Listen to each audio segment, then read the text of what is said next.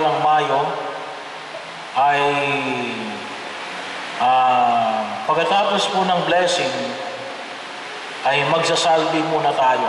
No? Salve Regina. Pagpaparangal natin sa mahal ng Bering Maria, ang birhen ng mga bulaklak. At paalala pa rin po, ano, alam nyo, ah, ang first and foremost supporter of the Good Shepherd ay walang iba kundi ang mahal na Bering Maria, ang kanyang nanay. Ano? So, kaya po, ah, idulog natin na tulungan tayo ng mahal na Bering Maria katulad ng kanyang pagsuporta sa kanyang anak na tayo rin ay maging mabuting mga pastol. No?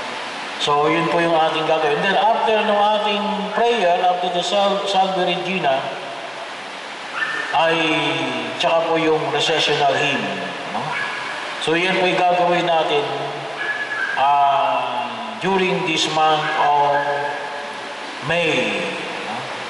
in honor of Nuestra Señora de los Angeles, ah, sorry, de los Flores. So muli po, maraming salamat sa iyong patuloy na pagsuporta sa ating mga programa at mga proyekto. Magsitayo po kayo. Patuloy natin ipanalangin yung ating sa Florin. No? The Lord be with you. and with your spirit. May the Almighty God bless you all, the Father, the Son, and the Holy Spirit. Amen. Resurrexit Dominus. Alleluia. Alleluia. Deo gracias. Aleluya. Aleluya.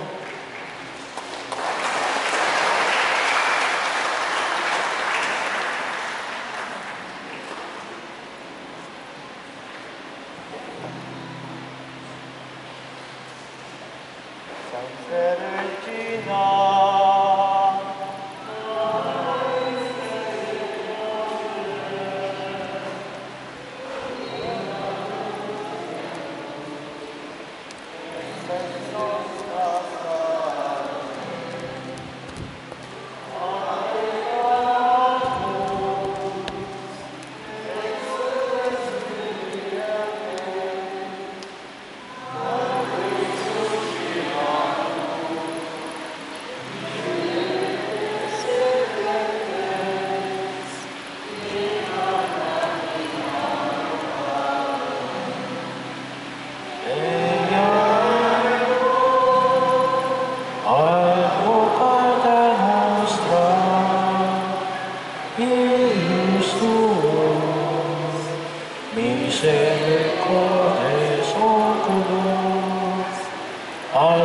nos converte.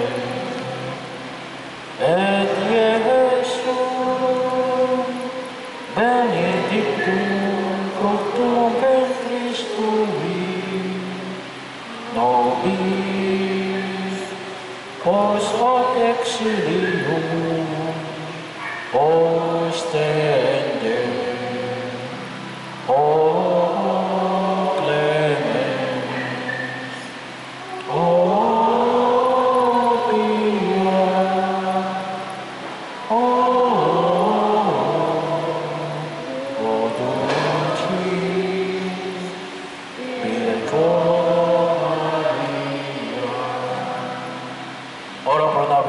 Dei Genetrix. Ut digne episcopal consinuis Christi. Oramos. Omnipotens Semper Deus, que gloriosa Virginis Matrix Maria, corpus animum dignum filii topic lumifici meriritur, Spiritu Santo cooperante preparaste. Es que in memorazione la temore e spedizione, abis antibus manamorde perpetua liberemur. Per iundem Christum Dominum nostrum. Divinum auxilium maneat semper nobiscum. Amen. Amen. Amen. Ave Maria Purissima. Sin pecado concebido.